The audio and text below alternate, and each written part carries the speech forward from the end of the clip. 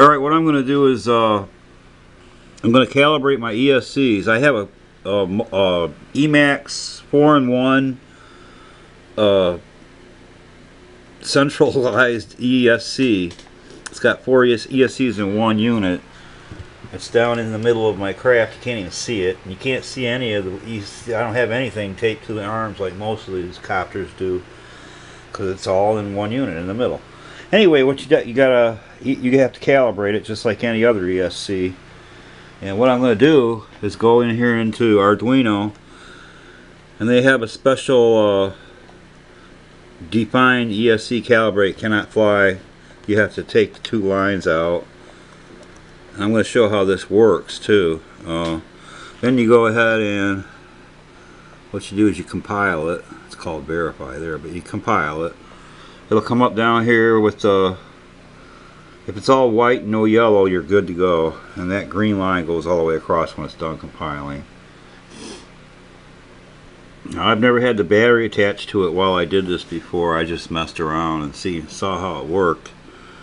Okay once you have that done then you have to upload it's called a sketch.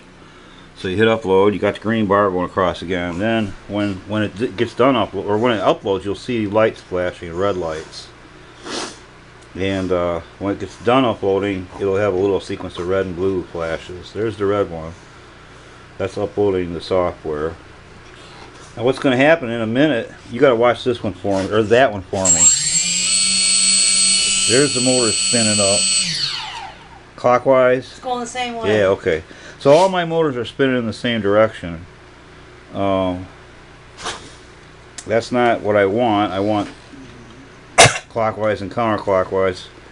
And uh, we're gonna have to fix that by reversing some wires I think. I'm not sure. right now, okay now that I spun the motors up and they they all worked um, you undefine it. You take it you put your two little slashes back in front of it and then you go back and you recompile. And then you get the green line again. And then after you get done compiling recompiling you go up there and you upload it again and then that takes you back into flight mode.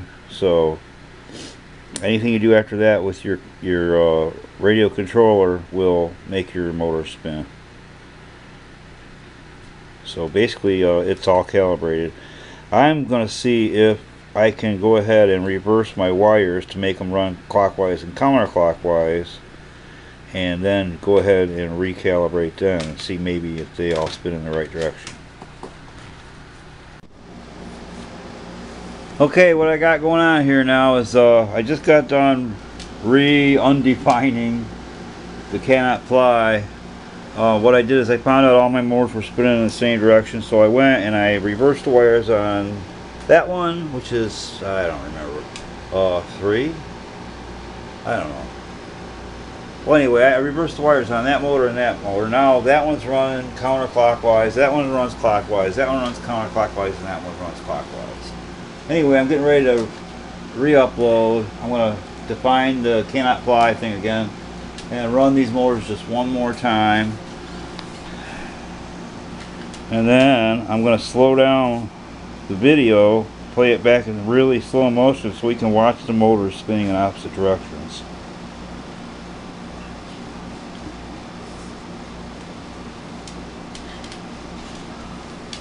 Any second now.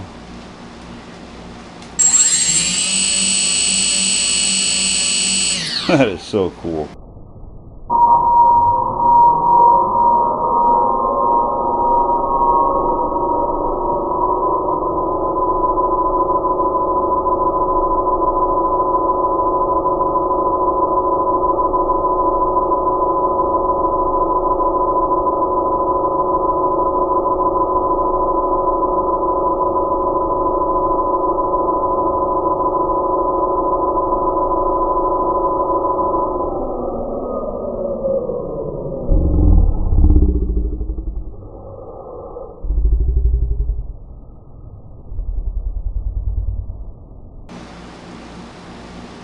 Alright, that was my motor ESC calibration. Um, I learned how to do that online. There was a thing on the MultiWii site that explained it very plainly how to do it. You don't have to go through all this hooking up uh, one ESC to your uh, transmitter or to your receiver at a time crap. Uh, especially with this uh, ESC that I got, the 4-in-1, it's just easier just to do them all at once. So hopefully that uh, the minimum and maximum stuff was all right and they're calibrated properly so I can take off. Me? Alright, I'm going to do what uh, I guess what you would call an ESC calibration. I'm doing it with the props on. You're not supposed to do this, but I have like 20 pounds of weight on the skids, on the landing gear with C-clamps holding it down. Plus I'm going to hold it in place. There is a problem. The props aren't balanced yet, and this is a little stressful on it. So, uh, but anyway, I'm, I got to get it on video. So here goes nothing. We're to run the ESC calibration tool and as soon as it starts spinning you'll you'll see it they're the props are all going in the right direction I'm gonna hold it down because I, I still don't trust it on the last time we did this one that prop right there went flying off. So it might again I don't know let's hope not. If it does I'm gonna have to find some kind of a fix for it. That's one thing I learned with the first Whoa, they're way out of balance and that one didn't run right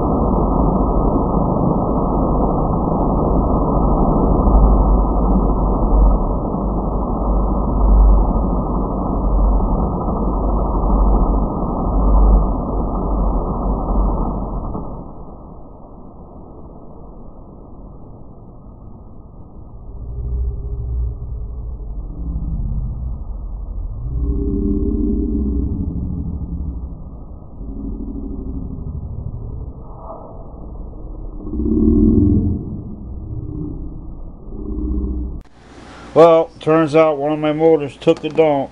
This one right here, the one that was spinning funny when the, in the last run-up test, uh, we uh, took the props off and I let it cool down and I spun it up again and it smoked it. There's just smoke come rising out of it. The other three worked great. And uh, kind of put a damper in my spirits, to say the least, and my trust in these motors is gone way downhill. I don't know about these Chinese things. Uh, they're cheap to start with. They're only like 10 bucks a piece. So I guess you get what you pay for. And in this case, I got what I paid for.